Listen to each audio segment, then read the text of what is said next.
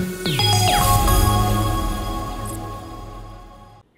జగిత్యాల జిల్లా చెల్గల్లో బండి సంజయ్ ప్రజా సంగ్రామ యాత్ర కొనసాగుతుంది. యాత్రలో సీఎం కేసీఆర్పై విమర్శల వర్షం గుప్పించారు సంజయ్. బీఆర్ఎస్ పేరుతో మరోసారి కుట్రకు తెరలేపుతున్నారని ఫైర్ అయ్యారు.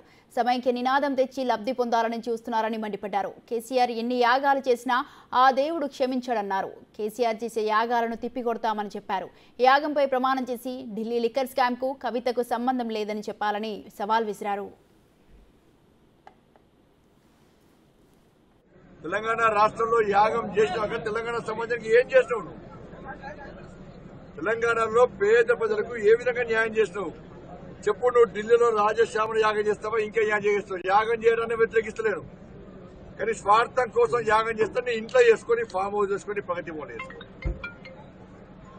ఢిల్లీ పోయి కనీసం యాగం చేస్తున్నావు కదా? చలో ఆ యాగం రోజు నువ్వు పట్టు వస్త్రాలు వేసుకుంటావు. యాగంలో కూర్చుంటావు.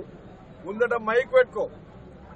ముందట మైక్ పెట్టుకొని కనీసం ఆ దేవుని సాక్షి ఎప్పుడు తెలంగాణ రాష్ట్రంలో ఎంతమందికి డబుల్ బెడ్రూమ్లు ఇచ్చినావు?